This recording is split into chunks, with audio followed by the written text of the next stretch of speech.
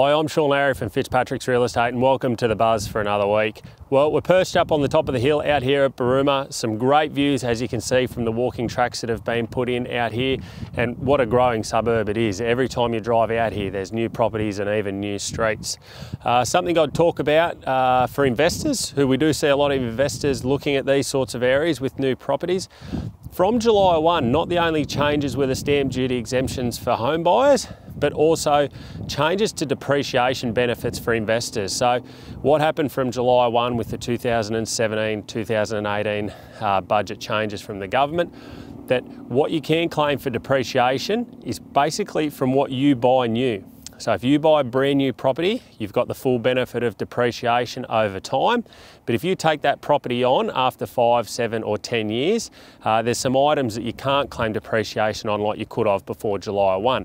So for an example, a dishwasher, if you buy it new, if that's in a new home or you buy brand new to put into your investment property, you can can claim depreciation on that item, but if you take that over second hand, so if the dishwasher's gone in a month before you buy the property, or if it's in the property that's five years old that you buy, you can't claim depreciation on that item. So the full benefits aren't there for investors um, as they once were.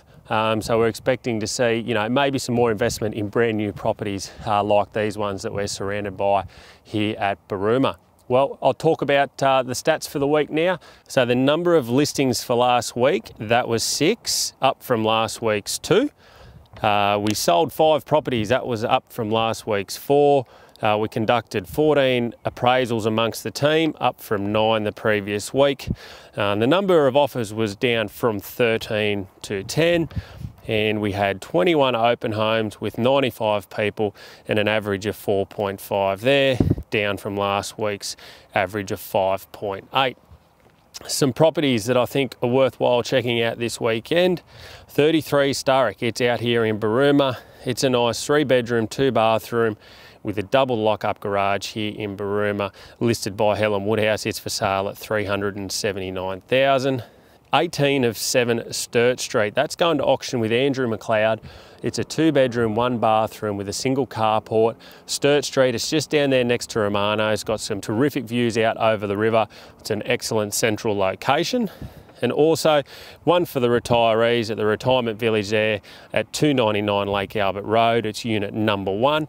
It's for sale at 285,000 two bedrooms, one bathroom with a single car accommodation there, right near the Kooringal Mall with all the transport facilities around you, uh, something that those retirees definitely see value in.